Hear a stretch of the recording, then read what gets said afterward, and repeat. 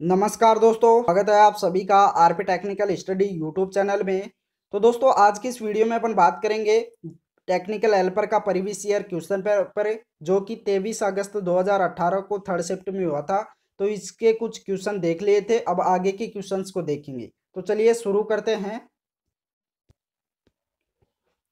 तो दोस्तों, अगला क्वेश्चन है जब ट्राइक ऑन होता है तो मुख्य टर्मिनल एक और मुख्य टर्मिनल दो के बीच प्रवाहित होने वाली विद्युत धारा को क्या कहा जाता है? ऑप्शन ए, दे रखा प्रमुख विद्युत करंट है बी, दे रखा लेचिंग करंट है सी, दे रखा होल्डिंग करंट, डी, दे रखा ट्रिगर करंट, ई, दे रखा इन सब। तो दोस्तों, इसका करेक्ट आंसर क्या होगा? इसका करेक्ट आंसर हो जाएगा option number C, holding current. Correct answer क्या होगा? Option number C. अगला क्वेश्चन अगला क्वेश्चन दे रखा है, एक हाथ से पकड़ने वाले portable type current transformer Khalistan है। किसका उपयोग सर्किट लोडिंग को मापने के लिए किया जा सकता है?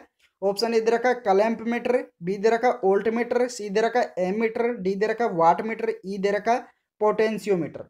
तो इसका करेक्ट आंसर क्या होगा? इसका करेक्ट आंसर हो जाएगा कलैंप मीटर। एक हाथ से पकड़ने वाला पोर्टेबल टाइप करंट ट्रांसफार्मर कौन सा है?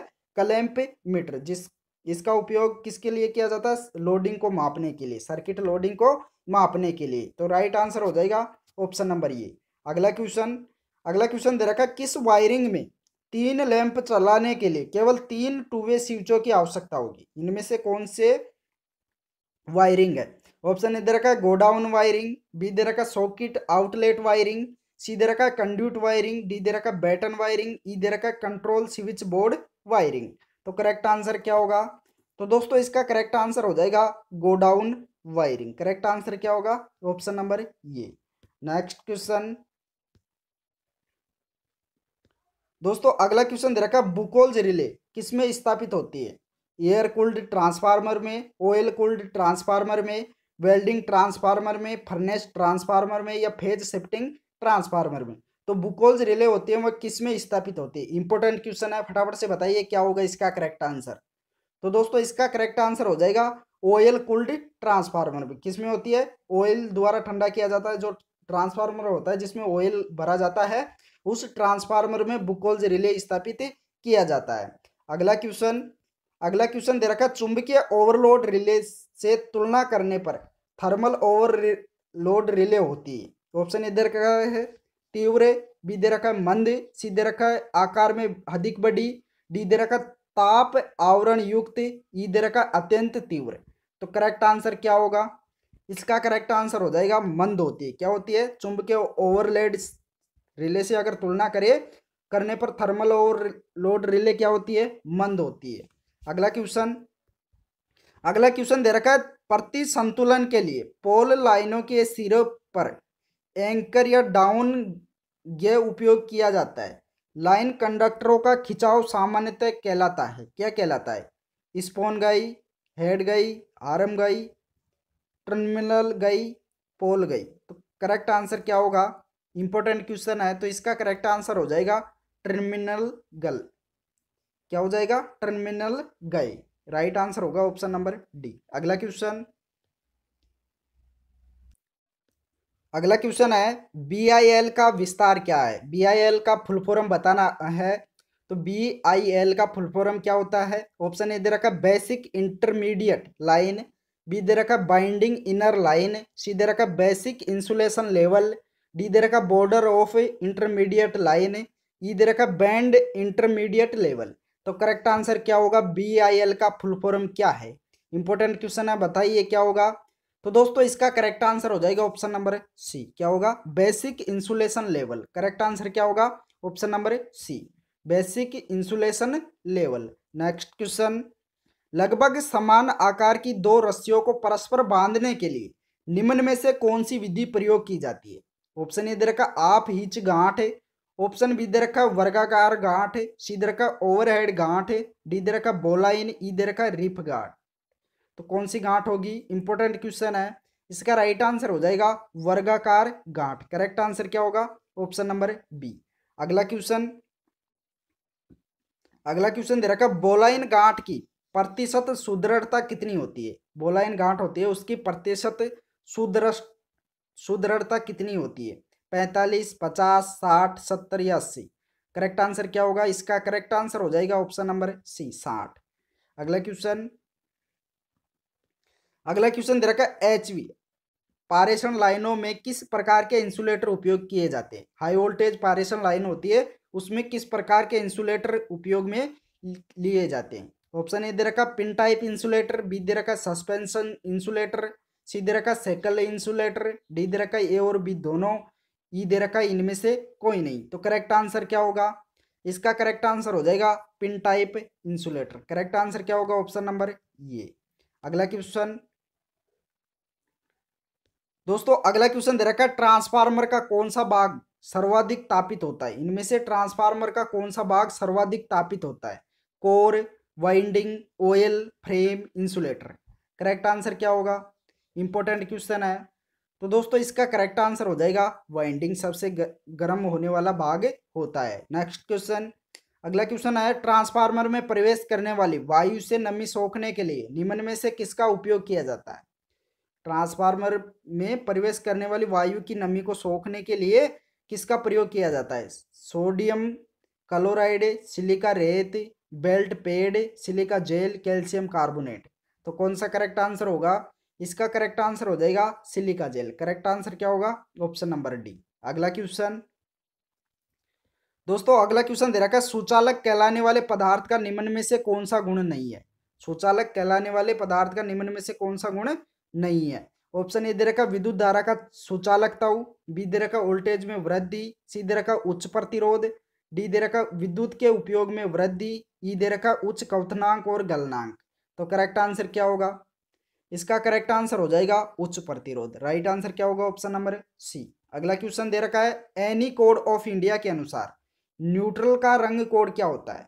न्यूट्रल तार होता है, उसका रंग कौन सा होता है? लाल, नीला, काला, हरा या सफ़ेद? फटाफट से बताइए क्या होगा? इसका राइट आंसर हो जाएगा काला। करेक्ट आंसर क्या होगा ऑप्शन नंबर सी अगला क्वेश्चन दोस्तों, अगला क्वेश्चन दे रखा है, मानव शरीर की गीली त्वचा का प्रतिरोध किसकी सीमा में होता है? शून्य पॉइंट एक किलो ओम। ऑप्शन भी दे रखा है, शून्य पॉइंट चार किलो ओम से शून्य पॉइंट छः किलो ओम। सी दे रखा है एक किलो ओम, डी दे रखा है दस किलो ओम, ई दे रखा है सौ किलो ओम से छः सौ किलो ओम। तो करेक्ट आंसर क्या होगा? इसका करेक्ट आंसर हो जाएगा एक किलो ओम। मानव शरीर की गीली त्वचा का प्रतिरोध कितना होता है? एक किलो ओम। तो राइट आंसर हो जाएगा ऑप्शन नंबर सी अगला क्वेश्चन अगला क्वेश्चन दे रखा प्लेट अर्थिंग में दो समांतर प्लेटों के बीच की दूरी कितनी होनी चाहिए? आठ मीटर, दस मीटर, बारह मीटर, तीस मीटर, पचास मीटर। राइट आंसर क्या होगा? तो दोस्तों इसका करेक्ट आंसर हो जाएगा प्लेट प्लेट अर्थिंग में दो समांतर प्लेटों के बीच की दूरी कितनी होनी चाहिए? न्यूनतम आठ मीटर। राइट आंसर क्या हो जाएगा? चौवन में आठ मीटर। राइट आंसर होगा ऑप्शन नंबर ये अगला क्वेश्चन।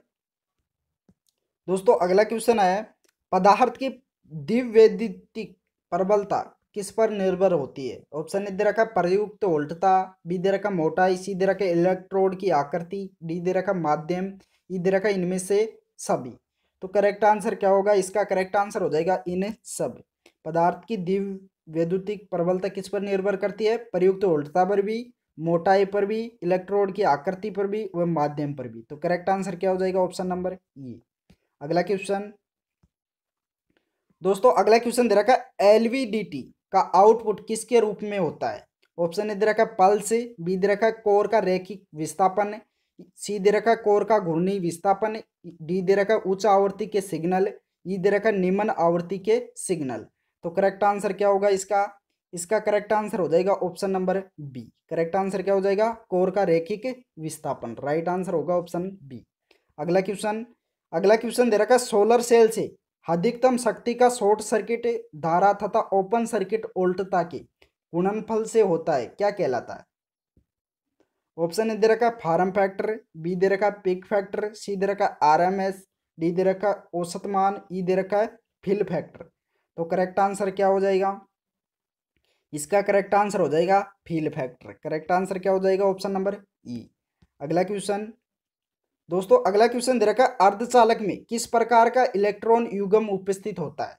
अर्धचालक होता है, उसमें किस प्रकार का इलेक्ट्रॉन युगम उपस्थित होता है? ऑप्शन ए दे रखा आईनी बी दे रखा है गैर आईनी सी दे रखा होमोपोलर डी दे रखा एट्रोपोलर ई दे रखा ससंयोजी तो करेक्ट आंसर होगा इसका option C homopolar correct answer क्या होगा?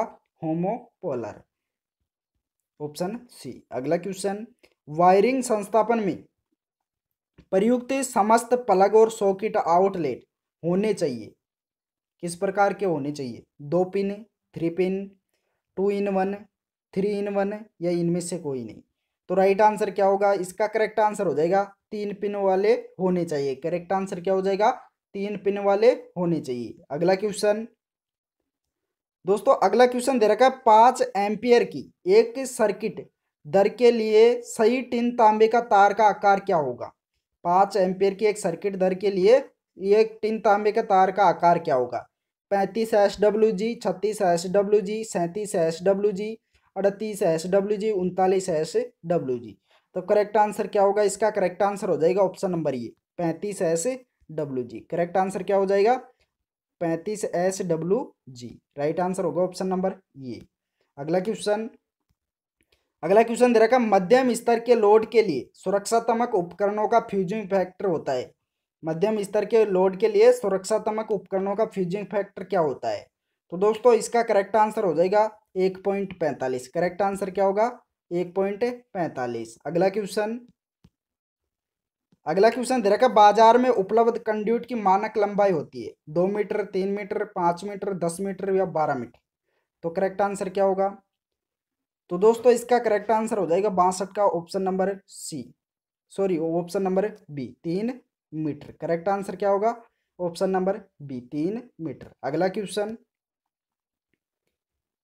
अगला क्वेश्चन दे रखा इलेक्ट्रॉनिक सोल्डरिंग काम में इस्तेमाल होने वाले टिन लीड मिश्र धातु, सोल्डर तार किस पर पिघलता है? कितने डिग्री सेल्सियस पर पिघलता है? ऑप्शन ए दे रखा है एक सौ तिरासी डिग्री सेल्सियस, बी दे रखा है तीन सौ तैंतीस डिग्री सेल्सियस, सी दे रखा है छः सौ दो डिग्री सेल्सियस, डी दे रखा है एक हज़ार तीस डिग्री सेल्सियस, ई दे रखा है बारह सौ डिग्री सेल्सियस।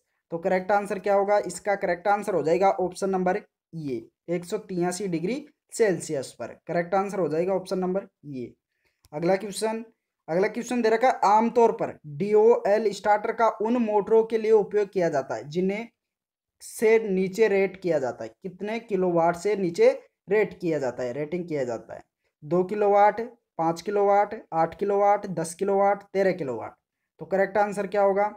इसका करेक्ट आंसर हो जाएगा पाँच किलोवाट से नीचे के लोड पर रेटिंग की जाती है डिओल स्टार्टर के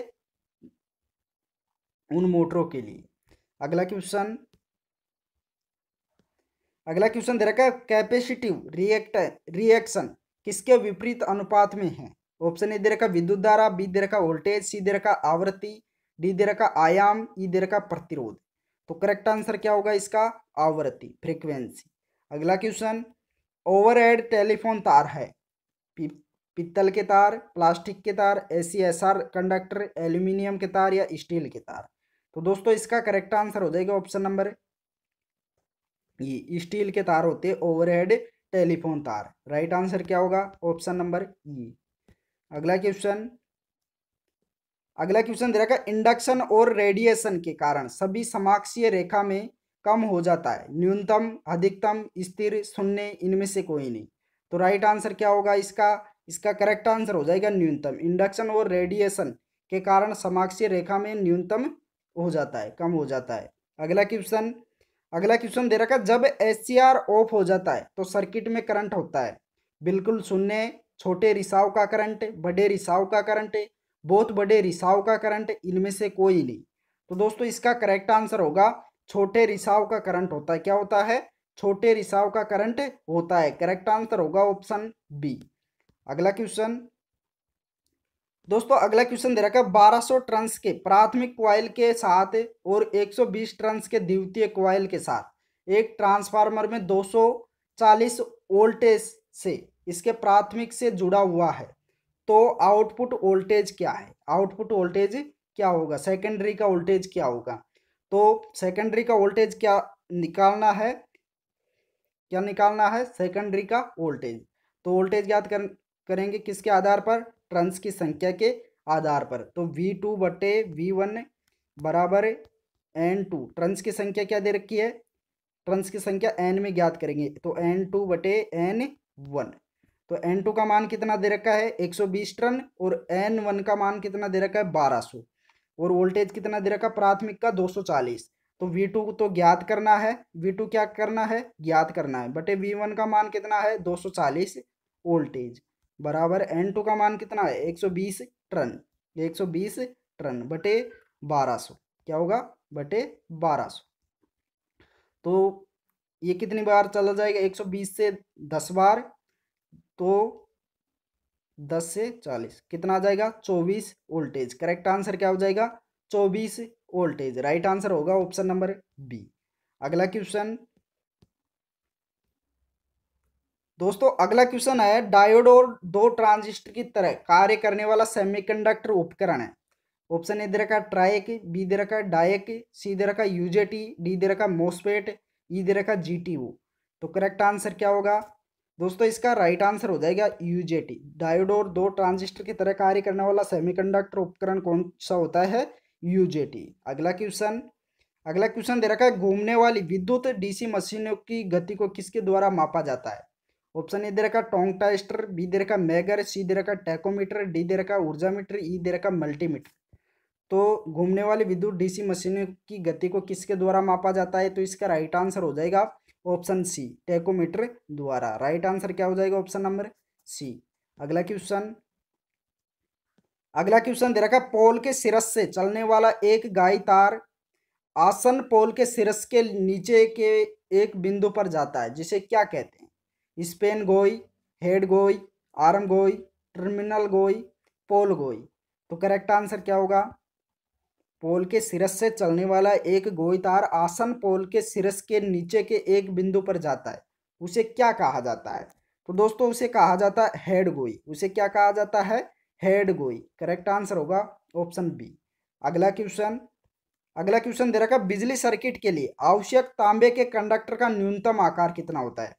बिजली सर्किट के लिए आवश्यक तांबे के कंडक्टर अर्थात तांबे के चालक का न्यूनतम आकार कितना होता है?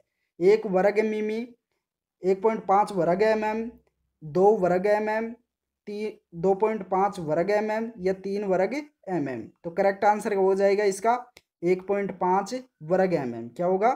एक पॉइंट पाँच वर्ग एम एम राइट आंसर हो जाएगा ऑप्शन नंबर बी। अगला क्वेश्चन अगला क्वेश्चन दे रखा छह वोल्टेज का ईएमएफ स्रोत पूरी तरह से प्रतिरोधी लोड लैंप के साथ जुड़ा हुआ है और दो एम्पियर का प्रवाह देता है, सभी तार प्रतिरोध मुक्त है। तो लैंप का प्रतिरोध क्या है? प्रतिरोध ज्ञात करना है, धारा दे रखा है और वोल्टेज दे रखा है। क्या दे रखा है? धारा व वोल्टेज दे रखा है, प्रतिरोध ज्ञात करना है। तो प्रतिरोध ज्ञात करने का फॉर्मूला क्या होगा? वी बटे आई, क्या होगा? वी बटे आई वी का मान कितना दे रखा है? छः वोल्टेज और धारा का मान कितना दे रखा है? दो एम्पियर तो छः में दो का भाग देंगे तो कितना हो जाएगा? तीन. राइट आंसर क्या हो जाएगा? ऑप्शन नंबर बी तीन ओम अगला क्वेश्चन अगला क्वेश्चन दे रखा है ट्रांसफार्मर के खालिस्तान को निर्धारित करने के लिए ओपन सर्किट परीक्षण किया जाता है। ऑप्शन ए घूमने वाले हानि ऑप्शन बी दे रखा है कॉपर हानि सी दे रखा है फ्रिक्शन हानि डी दे रखा है एडी करंट हानि ई दे रखा है पावर हानि। तो करेक्ट आंसर क्या होगा? तो दोस्तों इसका करेक्ट आंसर हो जाएगा एडी करंट हानि, को निर्धारित करने के लिए ओपन सर्किट टेस्ट किया जाता है। ट्रांसफार्मर में कौन सा टेस्ट किया जाता है? Open circuit test eddy current को मापने के लिए किया जाता है। अगला क्वेश्चन अगला क्वेश्चन दे रखा है एसी के औसत मूल्य के आरएमएस मूल्य को अनुपात होता है। क्या कहा जाता है? पीक फैक्टर पावर फैक्टर औसत फैक्टर संभावित factor form factor right answer क्या होगा? एसी के औसत मूल्य के आरएमएस मूल्य का अनुपात को क्या कहा जाता है? इसका करेक्ट आंसर हो जाएगा फार्म फैक्टर करेक्ट आंसर क्या होगा? फार्म फैक्टर राइट आंसर हो जाएगा ऑप्शन नंबर ई अगला क्वेश्चन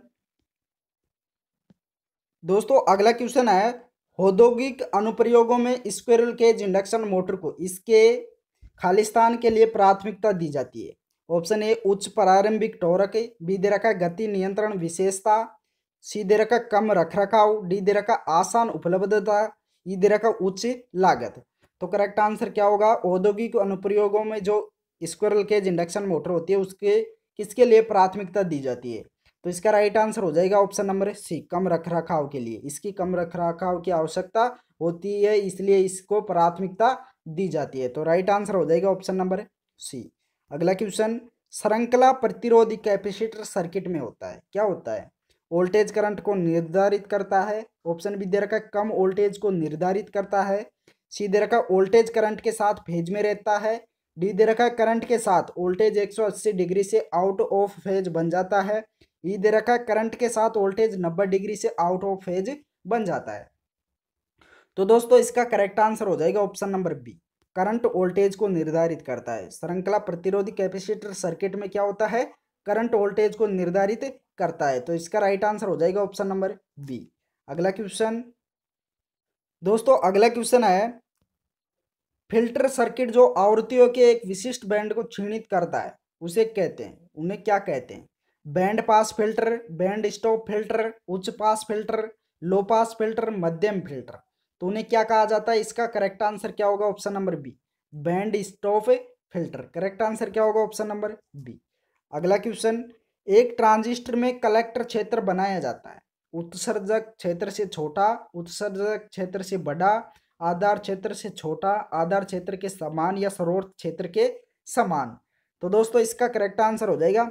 उत्सर्जक क्षेत्र से बड़ा बनाया जाता है। एक ट्रांजिस्टर में कलेक्टर क्षेत्र को कैसा बनाया जाता है?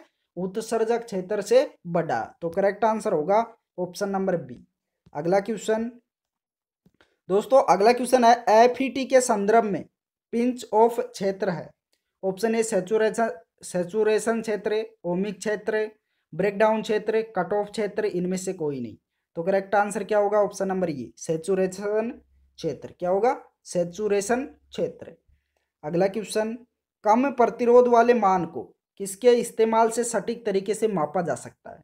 ऑप्शन ए, ओमीटर, बी दे रखा है मल्टीमीटर, सी दे रखा मेगर, डी दे रखा केल्विन, डबल ब्रिज, ई दे रखा वेन ब्रिज। तो करेक्ट आंसर क्या होगा? तो दोस्तों, इसका करेक्ट आंसर हो जाएगा ऑप्शन नंबर डी, डब, केल्विन, डबल ब्रिज द्वारा इसको मापा जा सकता है, कम प्रतिरोध वाले मान को। किसके द्वारा? केल्विन, डबल ब्रिज द्वारा। तो राइट आंसर होगा डी। अगला क्वेश्चन अगला क्वेश्चन दे रखा है, खालिस्तान माप की सबसे छोटी इकाई है, जिसे किसी उपकरण द्वारा दर्शाया जा सकता है। ऑप्शन ए दे रखा है, रेजुलेशन। ऑप्शन बी दे रखा संवेदनशीलता। सी दे रखा सटीकता। डी दे रखा स्पष्टता। ई दे रखा उत्पादकता। तो राइट आंसर क्या होगा? तो दोस्तों, इसका राइट आंसर हो जाएगा ऑप्शन नंबर ये रेजुलेशन। माप की ये सबसे छोटी इकाई है, जिसे किसी उपकरण द्वारा दर्शाया जा सकता है। राइट आंसर होगा ये। अगला क्वेश्चन अगला क्वेश्चन दे रखा है खालिस्तान के लिए ईएमएफ के स्रोत की आवश्यकता होती है। ऑप्शन ए, इलेक्ट्रॉन को भागने से रोकने के लिए। ऑप्शन बी दे रखा है, असंतुलित परमाणुओं से इलेक्ट्रॉनों को इंसुलेट करना। सी दे रखा है, इलेक्ट्रॉनों को गति प्रदान करना। डी दे रखा चालकता के गुण को प्रतिरोध में बदलना। ई दे रखा इनमें से कोई नहीं। तो दोस्तों, इसका राइट आंसर हो जाएगा, इलेक्ट्रॉनों को गति प्रदान करना के लिए ही ईएमएफ के स्रोत की आवश्यकता होती है। तो राइट आंसर हो जाएगा ऑप्शन नंबर सी अगला क्वेश्चन। अगर एक किलो ओम, दो किलो ओम और सात किलो ओम के तीन रजिस्टरों को एक सीरीज़ में तीस वोल्टेज की सप्लाई के साथ जोड़ा जाता है तो कुल प्रतिरोध और करंट होगा। कुल प्रतिरोध और करंट क्या होगा? तो दोस्तों, इसको सोल्व करेंगे। क्या करेंगे? इसको हल करेंगे। तो कुल प्रतिरोध ज्ञात करना है। तो कुल प्रतिरोध कितना होगा? कुल प्रतिरोध कितना होगा? एक किलो ओम दो किलो ओम व सात किलो ओम। इसको जोड़ेंगे तो कुल प्रतिरोध हो जाएगा। तीनों को क्या हो जाएगा? सीरीज़ में जुड़े हुए हैं तो R one plus R two plus R three होगा। तो आर का मान आर वन का एक किलो ओम आर वन का मान कितना? है एक प्लस दो का दो प्लस तीन का सात। तो तीनों को जोड़ेंगे तो कितना हो जाएगा? दस किलो ओम। बात करें इसके प्रतिरोध की। किसकी बात करें? प्रतिरोध की सॉरी करंट की। ज्ञात क्या करना है? करंट आई ज्ञात करना है। तो वी बटे वी बटे आर वी का मान कितना दे रखा है? तीस। बटे, प्रतिरोध कितना दे रखा है? दस किलो ओम। क्या दे रखा है? दस किलो ओम। तो दस किलो ओम को जब इसको हल करेंगे तो कितना आ जाएगा? ये मिली में बदल जाएगा। किसमें बदल जाएगा? मिली में। इसका भाग देंगे तो ये किसमें बदल जाएगा? तीन मिली एम्पियर कितना जाएगा? तीन मिली एम्पियर तो करेक्ट आंसर हो जाएगा ऑप्शन नंबर सी अगला क्वेश्चन अगला क्वेश्चन दे रखा सरल ओल्टाइक बैटरी का नेगेटिव इलेक्ट्रोड या एनोड किसका बना होता है? कॉपर का जिंक का सीसा का कार्बन का या इन सब। तो दोस्तों, इसका करेक्ट आंसर क्या होगा? इंपॉर्टेंट क्वेश्चन है तो इसका राइट आंसर हो जाएगा जिंक का। किसका बना होता है? जिंक का। अगला क्वेश्चन, इनमें से कौन सी गीली बैटरी है? इनमें से कौन सी गीली बैटरी? वेट सेल कौन सा है? Lead acid battery, Daniell cell, Clark cell, galvanic cell, इन सब। तो दोस्तों, इसका राइट आंसर हो जाएगा ऑप्शन नंबर ये लेड एसिड बैटरी क्या है? गीली बैटरी है। अगला क्वेश्चन, दोस्तों, अगला क्वेश्चन दे रखा है, खालिस्तान ऐसे पदार्थ है जिन्हें आसानी से चुंबकीय चुंबकीय किया जा सकता है और काफ़ी मज़बूत चुंबक बनाया जा सकता है। ऑप्शन इधर का फेरोमैग्नेटिक, डाईमैग्नेटिक, पैरामैग्नेटिक, स्थायी तौर पर चुंबकीय, अस्थायी तौर पर चुंबकीय। तो दोस्तों, इसका राइट आंसर हो जाएगा, फेरोमैग्नेटिक ऐसे पदार्थ है जिन्हें आसानी से चुंबकीय किया जा सकता है और काफ़ी मज़बूत चुंबक बनाया जा सकता है। तो इसका राइट आंसर हो जाएगा ऑप्शन नंबर ये नेक्स्ट क्वेश्चन दोस्तों, अगला क्वेश्चन दे रखा है, ऐसा पदार्थ जिनमें उच्च अवरोधन होता है। उनका इस्तेमाल किससे बनाने में किया जा सकता है? ऑप्शन ए, दे रखा इलेक्ट्रोमैग्नेट बी, दे रखा परमानेंट मैग्नेट सी, दे रखा अस्थाई मैग्नेट डी, दे रखा पैरा मैग्नेट ई, दे रखा डाई मैग्नेट तो दोस्तों, इसका राइट आंसर हो जाएगा option number B permanent magnet ऐसा पदार्थ जिनमें उच्च अवरोधन होता है, उनका इस्तेमाल परमानेंट मैग्नेट बनाने में किया जा सकता है। राइट आंसर होगा ऑप्शन नंबर बी ओके की वजह से ट्यूब लैंप सर्किट का पावर फैक्टर होता है। ऑप्शन ए, दे रखा यूनिटी, बी, दे रखा लीडिंग, सी, दे रखा दो, डी, दे रखा शून्य, ई, दे रखा लेगिंग। तो दोस्तों, इसका करेक्ट आंसर हो जाएगा ऑप्शन नंबर ई, लेगिंग होता है। चौकी वजह से ट्यूब लैंप सर्किट का पावर फैक्टर क्या होता है? लेगिंग होता है। राइट आंसर हो जाएगा ऑप्शन नंबर ई। अगला क्वेश्चन अगला क्वेश्चन, दे रखा इंडक्टेंस को दर्शाया जाता है। किसके द्वारा दर्शाया जाता है? तो दोस्तों इंडक्टेंस को दर्शाया जाता है एल के द्वारा। किसके द्वारा दर्शाया जाता है? एल के द्वारा। अगला क्वेश्चन धारिता किससे प्रभावित नहीं होती है? किससे प्रभावित नहीं होती है? ऑप्शन ए दे रखा प्लेट एरिया ऑप्शन बी दे रखा प्लेटों के बीच की दूरी। सी दे रखा डाइलेक्ट्रिक पदार्थ। डी दे रखा आवृत्ति। ई दे रखा इनमें से कोई नहीं। तो दोस्तों, इसका राइट आंसर हो जाएगा, आवृत्ति से प्रभावित नहीं होती है धारिता। कैपिस्टेंस किसके द्वारा प्रभावित नहीं होता है? आवर्ती के द्वारा फ्रीक्वेंसी के द्वारा। तो राइट आंसर हो जाएगा ऑप्शन नंबर डी अगला क्वेश्चन दोस्तों, अगर प्रत्येक चार पिकोफेरेड के दो कैपेसिटरों को एक सीरीज़ में जोड़ा जाता है तो उनकी कुल धारिता क्या होगी? अगर चार पिकोफेरेड के दो कैपेसिटरों को क्या जोड़ा जाता है? एक सीरीज़ में जोड़ा जाता है तो उनकी कुल धारिता क्या होगी? तो दोस्तों इसको सोल्व करेंगे कितने कैपेसिटर दे रखे हैं? दो कैपेसिटर कितने मान के हैं? चार पिकोफेरेट के प्रत्येक कैपेसिटर है। तो इसको हल करने के लिए क्या होगा? एक बटे एक बटे कैपेसिटर वन बटे प्लस एक बटे कैपेसिटर टू वन का मान कितना है? चार। तो एक बटे चार प्लस एक बटे चार। दूसरे का कितना है? चार। तो लघुतम लेंगे तो कितना आ जाएगा? चार। चार एकम, चार प्लस चार एकम चार। यह कितना आ जाएगा? दो। यहाँ चार। चार बटे दो। राइट आंसर कितना आ जाएगा? दो पिको फेरड करेक्ट आंसर क्या हो जाएगा?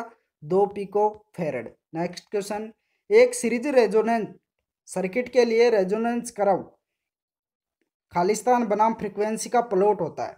ऑप्शन इधर का वोल्टेज बी दे रखा इम्पीडेंस सी दे रखा विद्युत धारा डी दे रखा रिएक्टेंस ई दे रखा इलास्टेंस तो करेक्ट आंसर क्या होगा? इसका करेक्ट आंसर हो जाएगा वोल्टेज एक सीरीज़ रेजोनेंट सर्किट के लिए रेजोनेंस करव वोल्टेज, बनाम, फ्रीक्वेंसी का प्लॉट होता है। करेक्ट आंसर क्या हो जाएगा?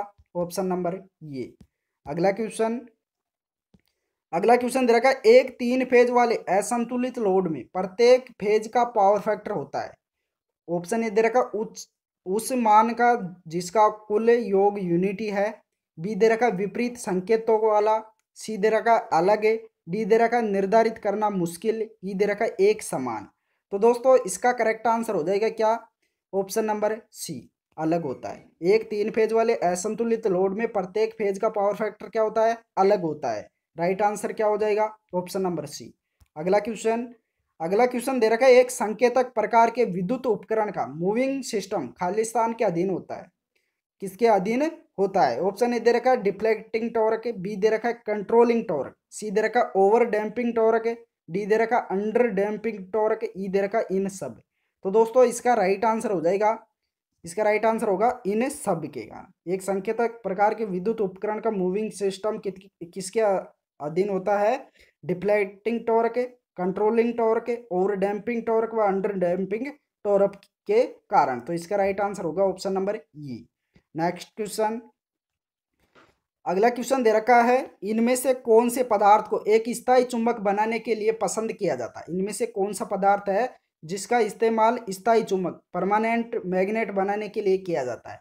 ऑप्शन ए दे रखा एल निको बी दे रखा वाई एलोई सी दे रखा है सिलिकॉन स्टील डी दे रखा है रोट आयरन ई दे रखा फेराइट तो दोस्तों, इनमें से परमानेंट मैग्नेट बनाने के लिए एल निको का इस्तेमाल किया जाता है। कौन से कौन से पदार्थ का इस्तेमाल किया जाता है? एल निको का। तो राइट आंसर हो जाएगा ऑप्शन नंबर ये अगला क्वेश्चन अगला क्वेश्चन दे रखा है, किसी ऑल्टोमीटर की संवेदनशीलता किसमें व्यक्त की जाती है? संवेदनशीलता किसमें व्यक्त की जाती है? ऑप्शन ए दे रखा ओल्ट प्रति ओम बी दे रखा ओम प्रति ओल्ट सी दे रखा ओल्ट प्रति एम्पियर डी दे रखा एम्पियर प्रति सेकंड ई दे रखा एम्पियर प्रति मिनट तो दोस्तों, इसका राइट आंसर हो जाएगा ओम प्रति ओल्ट में। व्यक्त किया जाता है संवेदनशीलता को। करेक्ट आंसर क्या होगा? ऑप्शन नंबर बी अगला क्वेश्चन एक पीएमएमसी उपकरण में मूविंग सिस्टम के स्पिंडल को डेस की मदद से दोनों तरफ़ से सारा मिलता है। ऑप्शन ए दे रखा स्टील बियरिंग बी दे रखा बुश बियरिंग सी दे रखा जवेल्ड बियरिंग डी दे रखा गन मेटल बियरिंग ई दे रखा रोलर बियरिंग तो दोस्तों, इसका राइट आंसर क्या होगा? इसका राइट आंसर हो जाएगा option number C jewelled bearing correct answer होगा ऑप्शन सी अगला क्वेश्चन दोस्तों, अगला क्वेश्चन दे रखा है मूविंग आयरन मीटर का संचालन। किस पर आधारित होता है? ऑप्शन ए दे रखा है इलेक्ट्रोस्टैटिक प्रभाव। बी दे रखा है इलेक्ट्रोमैग्नेटिक प्रभाव। सी दे रखा है इंडक्शन प्रभाव। डी दे रखा उष्मीय प्रभाव। ई दे रखा शीतलक प्रभाव। तो दोस्तों, इसका राइट आंसर हो जाएगा ऑप्शन नंबर बी इलेक्ट्रोमैग्नेटिक प्रभाव। मूविंग आयरन मीटर का संचालन किस पर आधारित होता है? इलेक्ट्रोमैग्नेटिक प्रभाव पर। किस पर होता है? विद्युत चुंबकीय प्रभाव पर। तो राइट आंसर होगा ऑप्शन नंबर बी तो दोस्तों, इस वीडियो में इतना ही। वीडियो पसंद आया हो तो लाइक कर दीजिए और अपने दोस्तों को भी शेयर कर दीजिए। जिस दोस्त ने भी अभी तक चैनल को सब्सक्राइब नहीं किया है, वो सब्सक्राइब भी कर लीजिए, साथ में और नोटिफिकेशन बेल को भी ऑन कर लीजिए। Thank you